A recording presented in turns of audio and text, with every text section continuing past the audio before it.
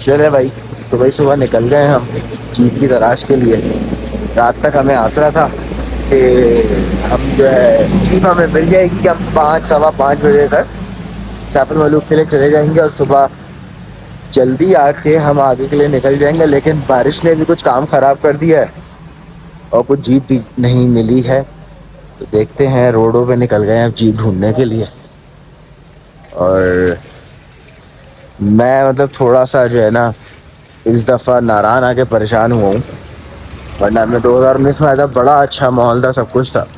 लेकिन इस दफ़ा थोड़ा सा मसला मुझे लगा जो तो कह सकते हैं आप थोड़ा बहुत कि रश बढ़ गया है तो शायद नखरे बढ़ गए और इस तरह की चीज़ें हैं लेकिन अच्छा नहीं लगा इस दफ़ा नारायण आके।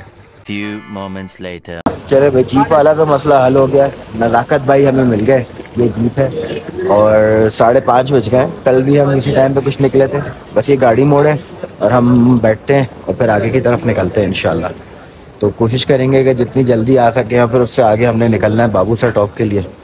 तो उसको भी क्रॉस करें और फिर वहाँ से इस करदू के लिए निकले इन बाकी अल्लाह पाक जो हमारे हक में बेहतर करे, जो बेहतर हो वो करे। हम यही दुआ करते हैं अल्लाह से। चले जी, हम निकल गए हैं साढ़े पाँच का टाइम है तकरीबन। और फिर मैंने आपको बताया कि जीप हमें मिल गई थी। तो हम फ़ौरन ही निकल गए हैं और जीप वाले भाई हमारे पास। हाँ नज़ाकत भाई हमें अच्छे मिल गए हैं। ये नज़ाकत भाई हमारे हम नज़ाकत भाई नंबर आपको शेयर करवा देंगे अपनी वीडियो पे। ठीक है ना? हम डायरेक्ट नज़ाकत भाई का शेयर करवा देंगे। ना कोई एसोसिएशन ना कुछ वो उनके अपने मसले मसाइल होते हैं। लेकिन ये कि ये भाई मिल जाएँगे बिस्मिल्लाह पढ़ते हैं और निकलते हैं इंशाल्लाह। फिर आगे निकल के देखते हैं कि क्या पोजीशन है। आज बारिश हो गई है, सुबह ठंड अच्छी खासी थी।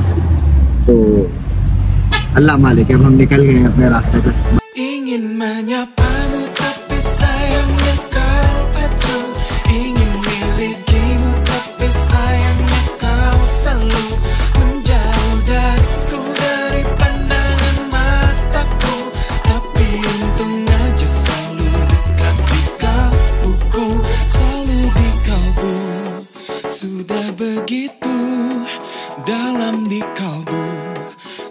Sampai ku bawa kau dalam mimpiku Setiap adamu penuhi pandangku Sampai ku tak mampu lepaskan bayangmu Ku ingin menyapamu Tapi tak satu pun kataku mampu ऊपर बर्फ़ पड़ गई है पहाड़ों पे और नीचे बारिश हो रही है चले जी इस दफ़ा कुछ रोड बेहतर मिला है और साइडों में आप देखिए रेलिंग लग गई है पहले ये रेलिंग नहीं थी और खुली जीप थी।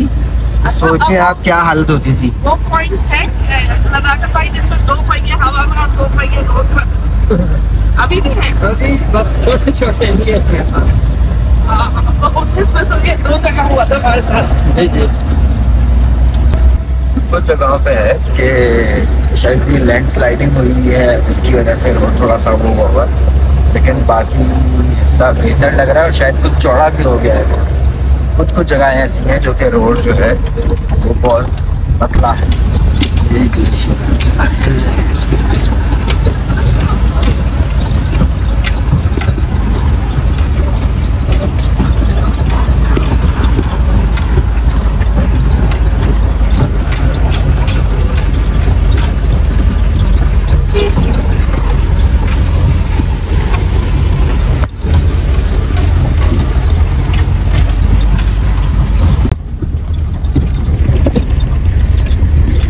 अगर आपको दिख जाए तो रख लें मुश्किल है। चल। एक और पत्थर पर लिखा हुआ आ रहा है। लेकिन अब लिखता रहे हम थोड़ा सा है तो ये मुश्किल है कि आप पढ़ सकें इसको। 20 minutes later. तो चलिए सैफुल मलूक पे जो है ना एंट्री की फ़ीस है। एडल्ट के लिए जो है बीस रुपए है।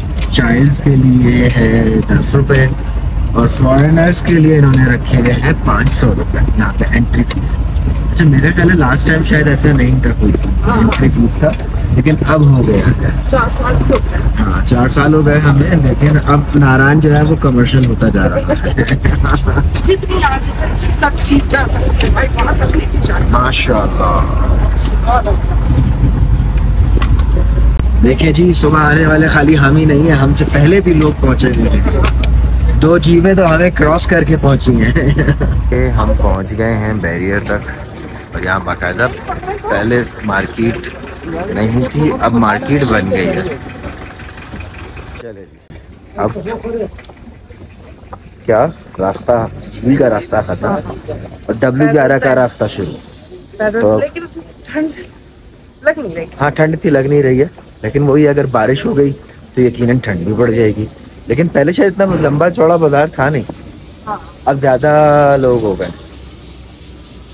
तो देखते हैं नीचे की तरफ़ चलते हैं क्या मिलता है कहाँ तक जाते हैं।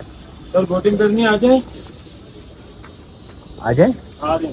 आ जाए आ जाए पे जल्दी से आ जाए। भाई आपका नाम क्या है? उमेर शाह। उमेर शाह। उमेर शाह भाई कितनी देर में आ रहे हैं? पाँच मिनट में में तो हम बोर्ड में बैठे। पहुँच चलो बस सही है ठीक है। हाँ ना हाथ में जितने जितना कम सामान लेके चले मेरा ख्याल है उतना अच्छा है। कुछ भी नहीं है। और भी बहुत अच्छा मरियम को जो है मेरे पीछे ही छुपना है ना? कैमरा इंसान खुद देख ले खुद एडजस्ट हो जाए नहीं। मैं कभी स्टिक ऐसे घुमाऊं कभी ऐसे घुमाऊं ये मेरे पीछे जाके छुप जाती है। चले जी। ये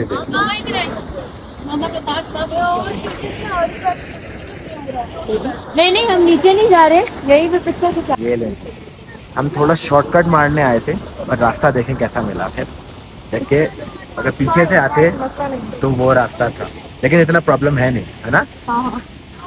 चढ़ते भी होगा तो हम सीढ़ियों से चढ़ जाएँगे। हाँ ये भी सही है। बाकी हमें यहाँ पे एक फोटोग्राफर भी मिल गए असद शाह भाई। तो इंशाल्लाह वापसी में उनसे हम कुछ अपनी तस्वीरें खिंचवाते हैं जैसे हमने पीर जनासी पे खिंचवाई थी। हाँ जहाँ जहाँ हमें प्रोफेशनल मिलेगा ना हम ज़रूर करें ज़रूर करें चलो भाई। ये स्टोरी सुना दूँ आपको सैफ मिली भाई हमने तो सुनी हुई है। स्टोरी मैंने हमने आपसे सुनी भी है। अभी बिस्मिल्लाह सुनी है वापसी में देखते अच्छा वापसी में आ रहे हैं। बोटिंग करके आ रहे हैं। आ जाए। आ जाए आ जाए फिर आ जाए। बोटिंग भी हो जाएगी और स्टोरी भी हो जाएगी। जी भाई। कितने लोग हैं? हम दो लोग हैं। अच्छा सिर्फ़ दो ही और हम ही जाएँगे। आपका नाम क्या है भाई? अनीफ भाई हमारे साथ बोटिंग पे जाएँगे और हमें कहानी सुनाएँगे। क्या व्यू है? ये देखें आप ये देखें। मज़ा आ गया।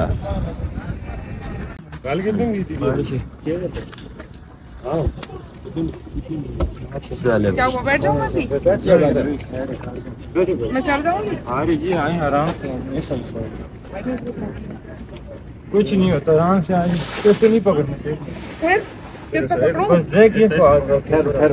इसको पकड़ो तो आप ये पकड़ो मेरी शाल पकड़ो। शाल पकड़ लो, चलो शाल। पकड़। मजबूती से। पकड़ी मजबूती से ये आप आ जाओ मैं सामने। बैठता हूँ एक से एक साइड बैठो एक साइड बैठो अच्छा भाई हम 2019 में जब आए थे ना जब भी हमें ये भाई मिले थे यहाँ पे और हमने इनसे कहानी सुनी और जो है आज हम फिर इनसे वो वाली कहानी सुनेंगे अच्छा उसका कहानी हमने सुनी थी बाहर कुर्सियों पे बैठ के आज हम आज हम बोर्ड पे बैठ कर सुनेंगे चले मेरे भाई जनाब मेरा नाम है मोहम्मद अजीत मैं यहाँ का रहने वाला हूँ मुझे यहाँ पे तीस साल हो गए यहाँ लोगों की जीत के बारे में इन्फॉर्मेशन देना जनाब ये एक मरतबा का ज़िक्र है कि एक शहजादा था मिस्र का इजिप्ट का था उसी एक वाली को को का बदर जमाल ये बदर जमाल परी थी बहुत खूबसूरत परी थी सब परियों की मलका और शहजादी थी सुबह कोट का शहजादी सैफ ने अपने वालिद को मुझे ख्वाब सुनाया वालिद उसका जो था जी मिस्र का बादशाह बादशाह ने कहा कि बेटा वो परी जो नारी है नारी चीज़ आपको मिल सकती भाइयों नारी मतलब होता है आग वाली आग से बनी होती है इसलिए या तो जात को नज़र नहीं शहजादे ने अपने वालिद को कहा कि मुझे परी मेरा जन्म मिला है, मैं झील देखने ज़रूर जाऊँगा मुझे इजाज़त दे वहाँ से जब उसे इजाज़त मिली शहजादा अपने घर से निकल आए आते आते एक साल उसको मिस्र के अंदर ही घूमते घूमते गुजर गया। कहीं से भी यहाँ का रास्ता नहीं मिला कि झील को आने। का। साल की बात चाँद की चौदहवीं रात में उसे इशारा हुआ कि मलका पर्वत जो कुदरती झील है वहाँ पे चले जा। तो मैं परी जो है ज़रूर मेरे जो नज़र आ रही है। मलका पर्वत के सामने वाली जो पहाड़ी नज़र आ रही है सबसे ऊँची पहाड़ है यहाँ की इस पहाड़ का नाम है मलका पर्वत। इसको मलका पर्वत इसलिए कहते हैं कि पर्वत आगे पहाड़। ये जिस पहाड़ का उन्होंने ज़िक्र किया वो ये सामने वाली पहाड़ है। ये पहाड़ है। अक्टूबर बारह महीने बर्फ़ में रहती है। इस पहाड़ की ऊंचाई है साढ़े सतारह हज़ार, सत्रह हज़ार पाँच सौ फुट सत्तर समुद्र से। बड़े बड़े कोपे मार गिरे फार्मल गिरे वंचल कला पाले गिरे, लेकिन इस पहाड़ के ऊपर कोई नहीं पाया। एक नाइनटी एट का वाकई अठानवे की बात है, ये मैं आपको आपको देखी बात सुना रहा हूँ, बता रहा हूँ। लाहौर का एक बना था, राशिद भट्ट। इसी पहाड़ी को सर करने के लिए जा रहा था। इसी से गिरे हुए। जिसकी डेढ़ बारी गुम हो गई थी, हम लोगों को मिली है चौथ में के बाद जिसने केटू साइड केटू नदी से जा रहे थे साढ़े सत्रह। बाद में सारी की दादा वहाँ से निकला, मिस्र से। आते आते रास्ते में अल्लाह वाला बुज़ुर्ग उस बड़ी बुज़ुर्ग का वहाँ रास्ते में गुजार था फिर नदी बड़ी था वहाँ रास्ते में कदम शहजादा वहाँ से गुजर कर आ रहा था झील की तरह झील ढूंढ रहा था। वली ने शहजादी से पूछा ऐ शहजादे आप किस लिए यहाँ जंगल में घूमने जा रहे हैं? शहजादे ने कहा कि मैं तो ऐसी झील है झील देखने जा रहा हूँ। उस वली से जीकर शहजादे को मेडिकल कैब से टूटी मिलती मिलने के बाद उसके कब्जे में ज़िंदा आगे जनाब उन जनाब ने शहजादे को वहाँ से उठाया मिसर से। यहाँ लाकर उतारा ये झील पर। यहीं पर शहजादे ने झील देखी झील की पहचान की। उसने कहा कि झील तो यही है जो मैंने ख्वाब में देखी है। अब मुझे परी कैसे मिल सकती है? जिन्होंने कहा कि उसकी था शहजादे ने यहीं पर चालीस दिन किला काटा अल्लाह की इबादत की। चालीसवें दिन के बाद उसने दुआ मांगी। कह कोई काम। कोई काम जो है रूस में रशिया में वहाँ पे जब पाकिस्तान है वहाँ से यहाँ सब सहेली आई हुई थी यहाँ आने के लिए अपनी जो थी कोई बदल जमाल जो शहजादे ने ख्वाब में देखी शहजादे ने जिना को भेजा। वो जिन वो थे जो टोपी के ज़रिए उसकी मदद को मिले थे जिन खामोशी से पहुँचे परी के पार उठाए और शहजादे साहब की साहब की यहाँ से बात बदल जमाल को नहीं फिर शहजादा उसको देख कर आपके सामने आ गए परी और शहजादा दोनों आमने सामने आ गए परी ने शहजादे से खुदा अरे शहजादे मैं आपके साथ वादा करती हूँ कि मैं चले जाऊँगी ज़रूर आज मुझे इजाज़त की जाए कि मेरे पास मुझे वापस दे दे कि मैं एक देव की कैद में हूँ अगर वो देव यहाँ पहुँच गया दोनों को खत्म कर देंगे। परी और शहजादा इस नाराज़ की तरफ़ चले गए रवाना हुए दूसरी सैनिक को एक आप पहुँची वहाँ जाकर देश सफ़ेद को बताया कि मलका बदर जमान यहाँ से जुदा होगी। कोई पता नहीं झील में डूबी के वो देव वहाँ से ढूँढने के लिए निकला, यहाँ तक पहुँचे जो पानी जा रहा है। नाला सुनने की झील बंद बड़ी झील ऊँची झील के ऊपर तक भरी हुई थी। फिर देव यहाँ से अपनी अड़ी लगाकर इस बात को झील को तोड़ा। इसलिए यहाँ से तोड़ा कि देव ने कहा कि शायद ये झील खाली हो जाएगी। तब जो बड़ी पता चल जाएगा। नीचे गिर गई डूब गई, उसको यहाँ से बाहर निकाली जब देव ने यहाँ से झील को तोड़ा, ये रेती इलाका था। नारायण तूफ़ान परी ने "ऐ अल्लाह इस तूफ़ान से भी बचा देना। उस जमाने में दुआएँ जल्दी कबूल हो जाती इस नारायण के अंदर ज़मीन में एक बाढ़ बन गया पहाड़ के अंदर एक सुरंग बन गया गार जिसके अंदर परी और शहजादा दोनों छुप गए ढाई साइड की भी तूफ़ान गुजर गया और बाई साइड ये गार जैसा कि नारायण में कभी भी मौजूद है जो सेंट्रल ब्लू कोटल है नीचे छोटी सी पहाड़ है पाकिस्तान में काफ़ी लोगों के नीचे का गार है। उस गार के अंदर वहाँ लाइट है वहाँ से ठंडी हवा है मशहूर गार देव सुबह जो था भाई जिस देव ने ये झील को तोड़ा। वही देव परी को ढूंढता ढूंढता देवसई में जाकर वो पहाड़ के साथ पहाड़ बन गया और पत्थर बन गए। इसलिए जगह का नाम रखा हुआ देवसई अस्करदू परी की शहजादा ने काफ़ी अरसा इस गार के अंदर छुपे रहे। बाद में जो जनन के कब्जे में उसने परी को शहजादी को बताया। आज तो देव जो था वो खत्म हो चुका बिल्कुल उन जनन परी को शहजादी को दोनों को निकाल कर लेकर मिस्र को भेजा। इसकी नाम की वजह झील का नाम जो था झील सफ़र इसकी तारीफ़ बनी उसके बाद यहाँ लोग खानी शुरू अच्छा यानी कि इसका मतलब है कि झील सैफुल मलूक और देवसाई का जो है लिंक इस तरह से मिलता है। चले इंशाल्लाह अब हम अ, हमारी राइड भी ख़त्म हो रही है और हम लोग जो है देवसाई भी इंशाल्लाह जाएँगे। तो अल्लाह मालिक अल्लाह खैर करेगा। अब हम यहाँ से निकलेंगे। बहुत ही खूबसूरत। बाकी बहुत खूबसूरत हाँ उसके बाद फिर क्राउडेड हो जाएगा फिर मुश्किल है। और दूसरा ये कि इंशाल्लाह तो थोड़ी सी तस्वीरें खिंचवा अल्हम्दुलिल्लाह अभी मैं गिर जाती अल्हम्दुलिल्लाह अल्हम्दुलिल्लाह। इतना यानी कोई इस वक्त अच्छा रहा है हमारा। पौने सात हो रहे हैं और हम बोटिंग वोटिंग से फ्री हो गए। अब ये है कि एक हमने फोटोग्राफर से यहाँ बात की है थोड़ा सा शूट करवाएँगे उनके साथ। वो शूट होता है तो बस फिर हम पकोड़े लेंगे और वापसी के लिए निकलेंगे। तो बहुत ही, यानी सुबह का जो व्यू है ना यहाँ का, मैं आपको बता नहीं सकती। सीरियसली नहीं बता सकती, यानी मेरी दो चार लोगों से जिनसे बात हुई है कभी तो उन्होंने यही कहा है कि इतना रश होता है, ये होता है। तो मेरा एक्सपीरियंस तो लास्ट टाइम भी मेरे को हुआ था, जब तो हम यहाँ साढ़े पाँच पे आज भी हम आ गए और जब भी। तो वो जो चीज़ होती है ना, कोई नहीं मिलता। और अब लोग आना शुरू हुए हैं कि हम फ्री हो गए, हमारा आने का टाइम पता जाने का टाइम हो रहा है। तो हम पहले जीप, पहली बोट अब यहाँ नंबरिंग सिस्टम हो गई है टोकन सिस्टम हो गया है, वरना पहले तो ऐसा कुछ भी नहीं था तो ऐसा कुछ पता नहीं चलता था कि फ़र्स्ट है या लास्ट है। लेकिन अब ये पता चल रहा है। लेकिन भाई वाकई क्वीन ऑफ़ लेक्स कहते हैं तो सही कहते हैं। चलें अब वापसी के लिए। और अब आप देख लें पीछे लोगों के सर दिख रहे होंगे। हाँ ये देख। अच्छा लोग अच्छे खासे हैं लेकिन इस वक्त रश कम हो गया है। उस वक्त बढ़ गया था। लोग उस तरफ़ से जाकर निकल गए। हाँ। खैर बहरहाल हमारा अच्छा एक्सपीरियंस रहा। हाँ। और अब हम वापसी के लिए निकल गए हैं। और तकरीबन है साढ़े सात हो रहे हैं लोग आ रहे हैं और हम जा रहे हैं। मसला एक है हमारे साथ कराची में हम सुबह उठते नहीं। यहाँ हम सुबह सोते नहीं। खैर यहाँ तो हम रात भी नहीं सोते सुबह क्या? क्या?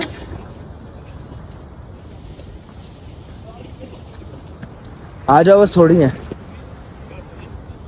और कहते हैं जल्दी से यहाँ से चढ़ जाओ इट्स हाँ ये इजियर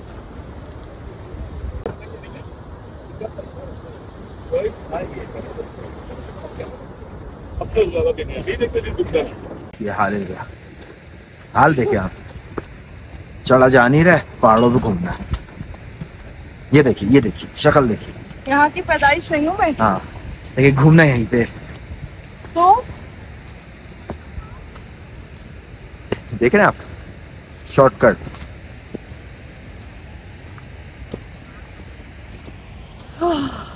ये लोग थक गए झील वैसी की वैसी। ले भाई यहाँ भी हमें रिवर छोटा सा मिल ही गया और वो भी गाय आप देखें चढ़ कैसे रही है पहाड़ों पे। ये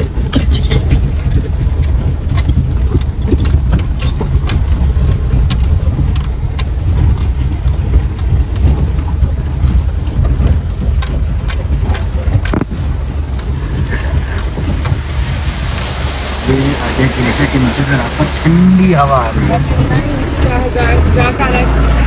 ओए, ये देखो।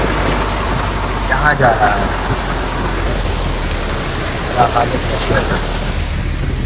ये रास्ता।